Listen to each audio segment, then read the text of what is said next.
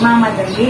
Tapos kahit siguro Ikaw, bangga-bangga na. kapang-kapang daw siya kasi dalawang ano pa ang gagaan hilo. Kahit daw hilo, ginawa ano niya, binikwento niya na sa akin yung kasama. Oh. Nahanap daw niya. Talagang, ang laki ng tama sa'yo talaga, te, ha? Baka sakali daw maabutan niya ako. Sabi ko, ito, naabutan mo na ako. Anong ano sabi? Sabi ng tiyoy niya, namatay na pinuntahan ko. Kaya na-close ko doon. Namatay mo, kaya nilibigay. Nag-close niya niya. Kasi yun ang tatay-tatay ko doon. Sabi niya, eh, naman, Will, huwag mo siya pilit. Hindi talaga ayaw niya. Hindi po, hindi ko na kaya pa kung gusto niya po yung hindi niya po nabalik. Hindi niya niya ako naiintindihin doon sa Manila kami. Eh, hindi na nahimik na lang ako. Sabi ko, naawa na rin ako. Parang naawa ka rin sa kanya. Nasa isip ko rin dalawa. Pa- parang ano, te, parang nangibabaw lang yung awa, hindi pagmamahal talaga. Kaya, tapos naisip ko rin, sabi, ito na yata yung kasabutan na ano, na hindi na ako babalik sa, na, sa tatay ko. Ganun. Parang, yun yung parang, Oo, oo, oo. Parang nagre-build ka lang, Oo, no? parang nag-reveal. Eh, parang sabi, pag nag-reveal talaga mapapahamak ka talaga.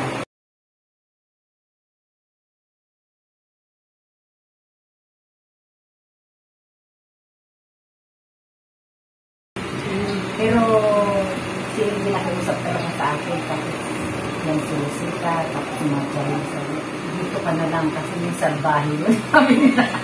Gwapo yun, pero babae na yun. Alam mo bang nag, nag-sit sila ng nag-sit sila na picnic, magkaiba? Hindi magpinsan sila, di ba? Oo, magpil. Ganun pala yung Day. Kaya naniniwala ko, Day, na taon-taon nag-improve ka talaga. Eh, na, tapos kasama ko na naman si Kuya Jun. Oo, hindi ko na matandaan yun. Hindi ko, parang hindi ko naman nakita yun. Kanda yun ni Mama kasi si Mana barkada namin ni Mama. Pero la, Muna, Perla. Mana Perla at si Mana Nilda. Oo. Tapos, Parang hindi ko na nakita. Nakita ko ba yun, te? Nakita ko ba yun? bata ko. Nabutan ko? Oo, nabutan ko pero hindi mo na matandaan. Hmm. Namatay kasi yung 16 years old yan. Tanay mo, nung lumipat sa kami sa...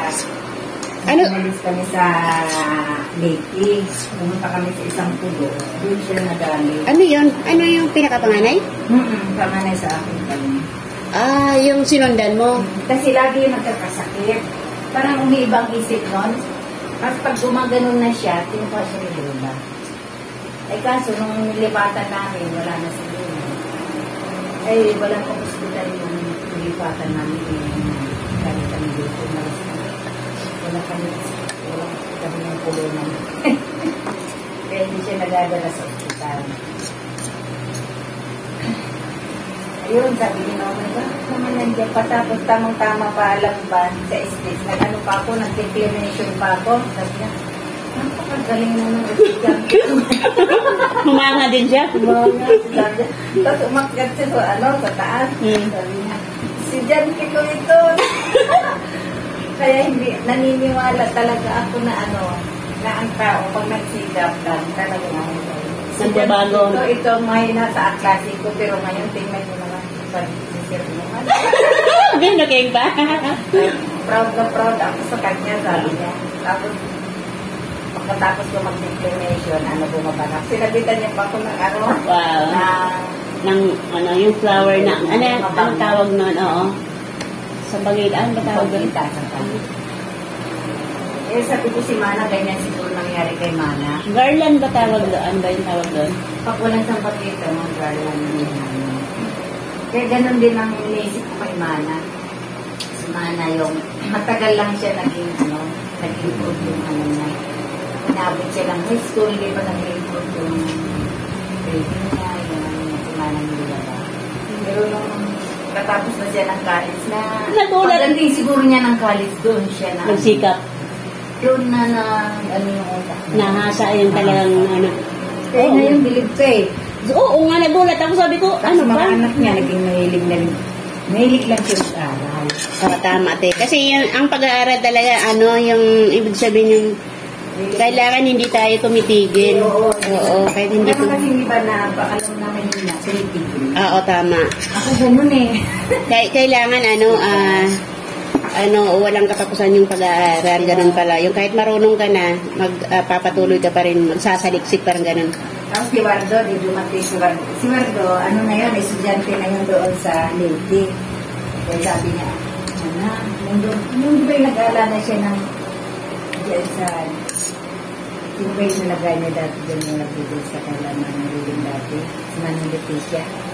Nakalawa siya ng anak anak mo ni Jan sabi niya nung makita ako sabi mana sayang naman yung na hindi ka nag-balik ako sabi niya matalino ka daw. Sabi niya sa akin "Sabi, hindi daw.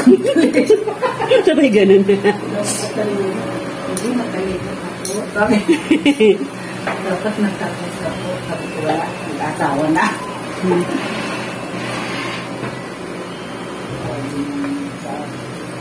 Pagkat yung labi ko. Wala na sa si Wardo ngayon na. no? Eh, ilang taon ka ba, te, nung nag-asawa? 24, mag-25. Tapos nasa ako 27. Ah, matanda siya sa'yo. At Sino? ang asawa mo. Oo, apat yung taon. Ah, ah ba, ba, ba't, na, ba't naisipan mo na agad mag-asawa ng ganong, ano, te, Ha? ganong edad? Ay, di ba nag-away kami ng tatay ko, naglayas ako. Ma, ma, maigpit ba si Teo sa, ano, sa'yo? Hindi naman, kaya lang, oo, medyo lang, pero kasi yung pananalita niya kasi parang, nung nag-away na kami, yung Kasi ano? sagot ko na siya, Di ba ikaw yung na pinaka, harapan. pinakapanganay na na. babae, di ba? No, Oo, ikaw yung pinakapanganay. Baka maano lang si Teo talaga sa babae, yung parang maingat, iningatan ka lang din. Kasi nga, siya. eh. Mhm. Kaya ingat siya. Kasi alam niya mga babae madaling bunahin. Oo, oo, oo, ganun daw yan. Eh, pag, may, Alam, pag mayroon pumupunta sa akin doon, dumadalaw, sabi niya, pinaaral mo yan ano? agoy. Sabi ko, hindi na ako nakakabili ng damit ko, paaralin ko. ano naman, ipaaral ko. Tapos yung isang beses na hindi nakibili ako nung shoot ako doon, di, di umalis ako sa kanila, naglupa na ako. Nagsarili ka na. Oo, ano, umalis-alis kasi na ako eh. Eh, Ilang taon ka, il- ilang taon ka nang tayo nung nagsarili ka na? Mag-24 na. Ah, Ang sarili na ako, naglayas-layas na ako. Yung bahay na yun, bago lang yan. Di talaga ako dyan nakatira. Ah, ma- Diyan mabuti, ma- mabuti pinayagan ka ni Teo na ano, magsarili. Ay, wala siyang magagawa. Magkaaway na nga kami. Talagang nanindigan ka na. Oo, maris na ako. Kasi hindi ako sanay na sumasagot-sagot sa kanya. Tapos Mm. nung nagsasagot-sagot sa kanya, tapos naturo ko kasi gano'n, hindi ko na siya kayang harapin. Ah, parang na, Parang nahiya na ako. nanliit ka sa Oo, tayo. ginawa mo. Umalis na ganun. ako. Nung umalis ako, nag-board ako. Pag bumabalik ako ng bahay, wala na yung gamit. No, hinakot na ni Titing. Sabi niya, umuwi ka na doon, ma. Ah, pinapabalik ka na. Binababalik. Nagkuha siya ng taxi at nakutin niya. Balik naman niya dyan. Pagdating naman niya, kuhanin ko rin, balik na naman ako. Kakulit. Tapos, doon naman, nagkaroon naman ako ng boyfriend na yung problema ko lang yung nakaraan, mga bata pa yung nag Ah, Ede, nagkaroon ako ng boyfriend. Pagdating naman ng Sabado di sahod, sabi ko magdala ka ng kailangan, magdala ka ng bigas doon sa kako. Sinamahan ko. Edi, bati na naman kami ni tatay mo magkaan. Tapos nagluluto pa na ako ng merienda sa loob, paalam na yung boyfriend ko, sabi maalis na ako. Sabi ko, bakit? Yung pala, binatukan na siya ng gitara ni tatay kasi nagbibitay kasi daw masama daw managot.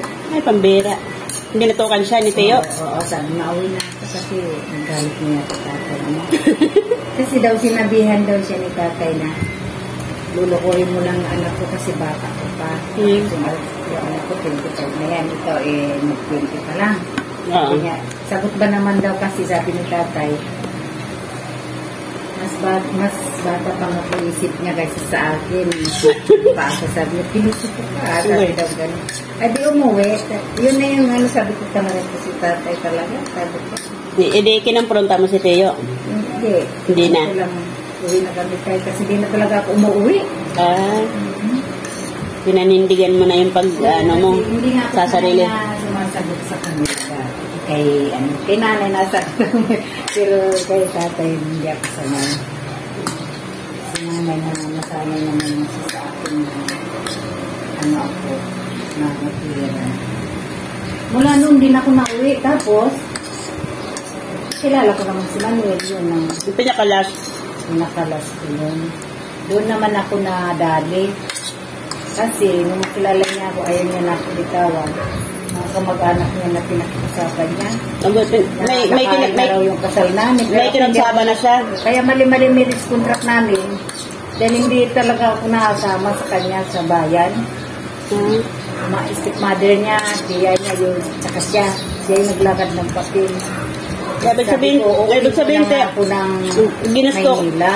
sa side ng, ano, te, no? Mm-hmm. Sa Nila? nila. Oo. Tapos patulong siya kay baby. Kay ano. Tapos di, isang linggo pa yata yun, kakasal na ako. Kami kakasal na. Pero magkahiwalay kami ni Manuel. Siya doon sa bahay ni tiya. Ako naman dito sa isa niyang tiya. Hmm. Alam mo ba ano, anong pumasok sa utak ko? Tumakas ako. Eh, siyempre yung masiguran, hindi ko alam saan ang sakayan. Ano. Basta tumakas ako sa isip ko talaga uwi mo akong Maynila. Ayoko muna pakasal. Oo. Pero naka-schedule na yun. Natupunta na si Pilipin at saka si yung kapatid niya dito na nasa Senado ngayon. Ah, kasi alam na nilang magpapakasal ka na. Mm, kasi nilakad na nga at Ah. ginawa, inano na niya na yung na daw kung pauwiin para sinunod niya. Tapos, ginawa ko nga nung siguro mga alas 3 ng tanghali, Hmm. naulan ko yun. Lumakas ako, naglakad-lakad ako pupunta dun. Pataas, parang bundok siya. Tapos, highway siya na may daanan na may madana jeep, truck. Pagtakas ko, malakas ang ulan, sumilong ako sa ano, sumilong ako sa isang bahay. Yung pala, tiyahin din na yung bahay. Anak din. wala ka tala, wala ka palang na, ano, natakasan, hindi mo nalusutan. Kung, Sumilong ako sa Baga, tao po, pwede ba magsilong muna? Kasi bahala ko talaga, kahit wala akong pera, hindi ako binibigyan pera eh. kasi nga, ayaw ka na talaga, ayaw na talagang pauwiin, ayaw ka nang Pinupunta pauwiin. niya lang ako dun sa kabilang tiya niya, ginagala niya ako kamunti sa yung parang merienda, pagkira pakain niya na ako. Kasi sabi ko, bakit mo nilakad niya? Ano, hindi ko naman, hindi ko naman, pa naman ano. Kamali na ako at sinagot ko na siya agad. Naligaw pa lang siya, sinagot ko na siya. Ibig sabihin yung, yung, yung pagkasagot mong yun, seryoso na siya. Text na sa kanya yun. Uuwi pa ako at sa magulang. Hindi pa nga ako nagre-resign sa trabaho eh. Pagtak, di alas 3 nandun ako sa kapit.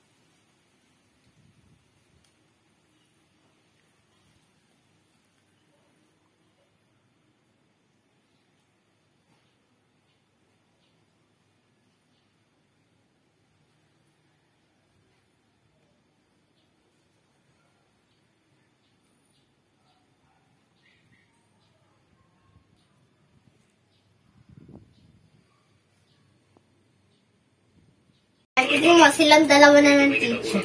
A, B, C, D, E, F, G.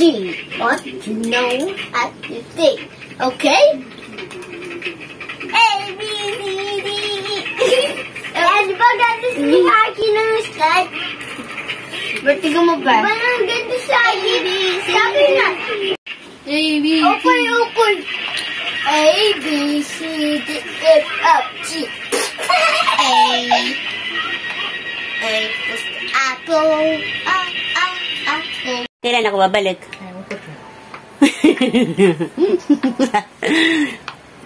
Bye-bye, tiya.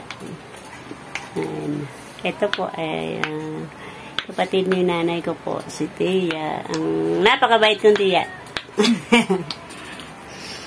Bye-bye na, Tia.